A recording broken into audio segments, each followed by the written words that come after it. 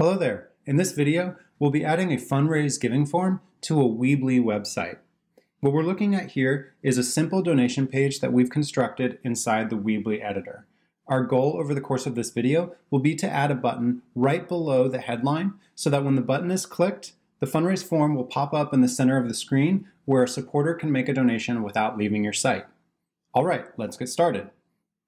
The first step will be to connect this website with Funraise, and we'll do that by placing several snippets into the header code of this website. In order to do that, we'll jump into Settings,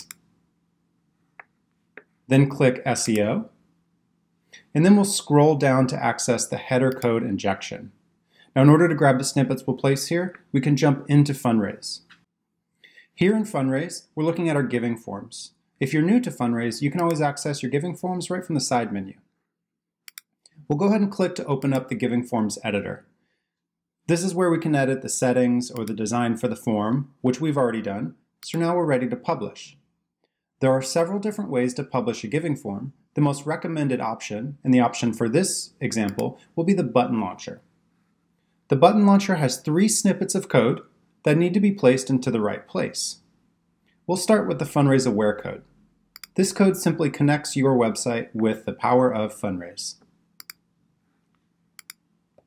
we'll just place this here. Now it's important to note, you should only place the Funraise aware code once, because it only needs to load once across your entire site. Next, we'll grab the form configuration code. This code creates a specific form on your website so that it's ready to go when the button's clicked. We'll paste that right below the Funraise aware code. Once we're done placing those snippets, we can click Save.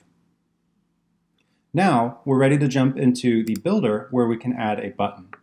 And rather than adding a normal button element, we're going to add an embed code and we'll place that right below the headline.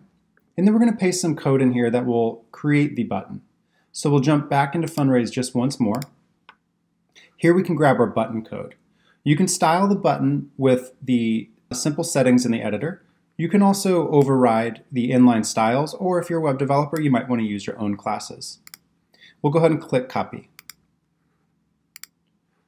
Back in Weebly, we can click into our custom HTML element, and we'll paste our button code right there. All right, now we can see our button. Now in order to see that live, we'll go ahead and click Publish. Excellent. And then let's refresh our page. There we go. So we've got our wonderful button, and when the button's clicked, the form opens just as expected. Wonderful. I hope this was helpful. Have fun.